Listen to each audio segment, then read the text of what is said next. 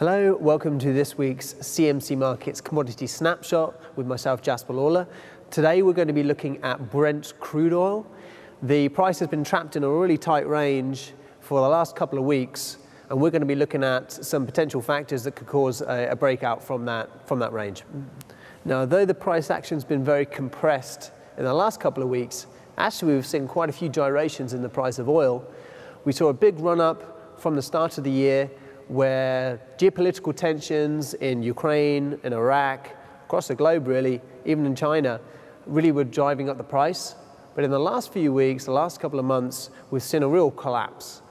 And so now we're finding ourselves at this base level and we're in this contracted range and we want to decide, well, what's going to cause a breakout? A potential factor are uh, two economic reports from today.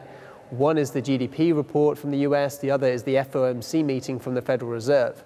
Now, these two reports kind of combine in their, in, in, in their significance because the FOMC has been propping up uh, the global economy with its very loose monetary policy, and the outcome of that policy should be higher growth across the world, including the US.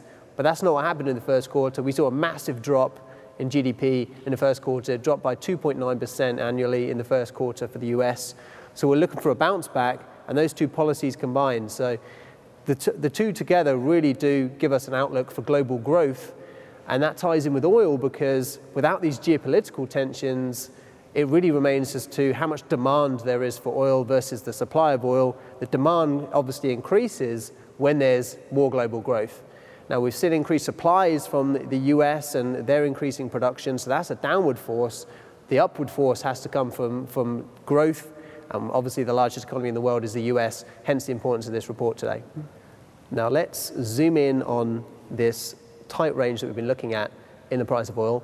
We've been in a 150 cent range with about 106 on the bottom end, 107, uh, 107.50 on the top end. Now, we're right in the middle right now, so it's not giving us too much clues based on this four hour chart that I'm going to show you right here.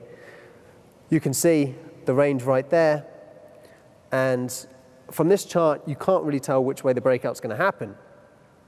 Now, when you get a tight range like this, one, one way to play it is really not to try and judge which way the breakout is going to happen from. You know, rather just when the breakout does happen, trade that breakout straight away as the price moves beyond one of these barriers or a certain percentage beyond one of these barriers as an extra level of caution. Or you can look at a close for the day or for the hour or for whatever time period you're trading beyond one of these barriers. Or you could look for a move through it and a pullback to that former support or resistance area and then look to trade from there at a more preferential price.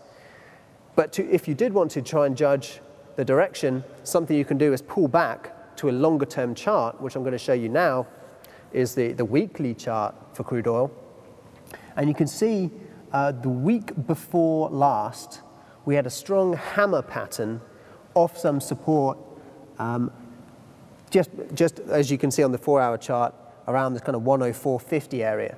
So that hammer formation is typically bullish, and then the following week, we saw a weak-ish, but still nevertheless a bullish engulfing candlestick. So on the weekly formation, it's looking like a potential move higher.